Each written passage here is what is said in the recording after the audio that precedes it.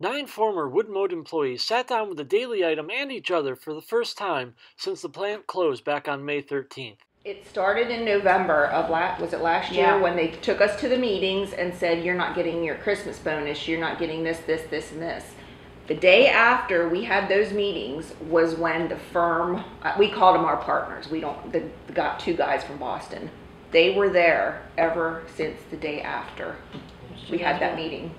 It was my understanding that it was on bank control and who Yes. paid what, on what was paid and how much was paid. And we never recovered from the recession. That's really the bottom line. We've never recovered from it. We still have outdated equipment. We still have mm-hmm. outdated computer oh, systems. Mm-hmm. The only thing that's kept it going the past 10 years are these folks and 900 others. That's the only thing that's kept it going with the skilled craftsmanship knowledge, Kreamer knowledge, KK, you can put that in, because everybody in the Kreamer knowledge. Kreamer knowledge. There The week before orders we there. closed, I asked Tim Hamaker how we were doing, and Tim said, we're doing well. We have a twelve million dollar backlog right now, one point four to one point six million coming in per day steadily. Julie logged a million dollars worth of orders on Monday, the thirteenth. Yep. There's a He said we're, he said we're came doing, we're actually doing pretty well, it's steady. At the end of twenty seventeen, you got a twenty-two million dollar kickstart. The beginning of twenty nineteen, you're closing your doors. So somebody couldn't have done something effective with that, that kickstart money and started saying, okay, we have to cut back here, we have to cut back here. We dealt with, we dealt with Valspar paint for years, and they switched it over to PPG, and it was horrible. Absolutely years. horrible. They knew it was It, bad. it, it was bad. I worked there where we actually mixed it, put it into the machine, everything got painted. The paint would peel right off. The paint was gritty. was gritty. The paint was see-through. So they would adjust the paint and say it was going to be fine. We couldn't work in summer conditions, so we had to have paint that was labeled summer paint, Oh, winter paint. But oh summer paint, Oh, yeah. you know, and then they, they summer mix and investigated the whole thing and tried this and tried that, said it would be fine. It would be fine. No matter what, the office people kept saying it would be fine. It wasn't fine. We're down on the floor. We can see it's not fine. We gave kitchens away because the paint was no good. The Wood Mode Facebook group has drastically increased its membership, while the community outreach of support for the workers has continued.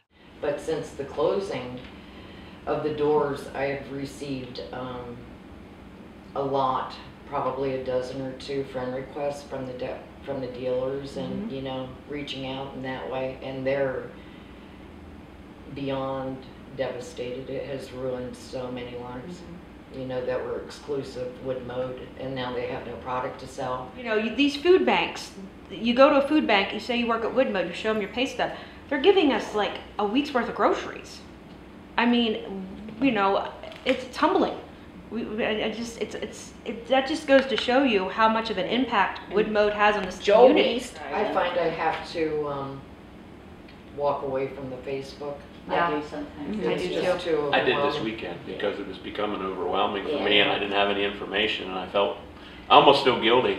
See, Because I, don't I've feel made, guilty. I've made up my mind from the start, when I started this, when Keith kind of gave me the reins and said, you do it, I'll just keep an eye on things. And I wasn't gonna lie to anybody, and if I didn't know if it was true and I heard it right from the right person, I wouldn't bring it up as hearsay. I, all I wanna give is fact, because Mm-hmm. all of our lives and hearts are in this. You're doing a And it's good job. hard. That's, that's It's probably really one of the hard. most frustrating Mm, things yes. is right now is we're not getting information No. It's from like a the owners. blackout. How, Anything. I how only dig to difficult get is that information. Uh, for you? That, that's very Okay. difficult because The going governor pretty much said yesterday that he, he thinks the owners should be more transparent with the employees. Why is our 401k frozen? What's going on with our pension? What, you know, what's going on kind of, he, he, like Joel's post said, he alluded to the fact that there's possibly something going on behind the scenes that we don't know about. But Exactly. he, he, hear all the rumors. right. Mm-hmm. Some former employees hope that the plant can come back, while others aren't sure if it can. You know, how about let's, let's get on, decide what you wanna do with the company. If you don't want it, then get rid of it, you know? The How many employees times did made we wood ask? mode, the employees made wood mode. Yeah. Yeah. How So many if you times don't, did so we if you ask don't for want the quotes? company, do something about it. Let the employees that want to come back, make wood mode go again. Not, I am not giving up. You're My, not. my, I'm not giving up. Let's It's say I it's have my coming hopes, back but I one have way or the doubts. other. It's coming If- back and I'm If going it to- does reopen, this is my fear. all these jobs that we're going to put our name in for are paying twelve dollars an hour. Hmm. My fear is, yes, somebody's gonna come in and buy that plant, but they're gonna want me to gonna have to come start back over. to where I put my heart and soul in that company, and they're gonna say, over. I can only give you thirteen dollars an hour to start, and you're not having any vacation, you're s- day one, Start over. start over. They won't, they won't make it. And that's what's gonna, that's my fear. I'm not trying to, to, to be doom and gloom. But, and you can hold on to hopes to have that start up again, but it's not gonna start. The debt is astronomical, the equipment is ancient, Every day, I think day, it's gonna have to start every, over. every, but every day, Anna, and I'm just trying to be Yeah. logical, okay? I could be completely wrong. Every day, every day, somebody finds another job. Yes. Yep. Every day.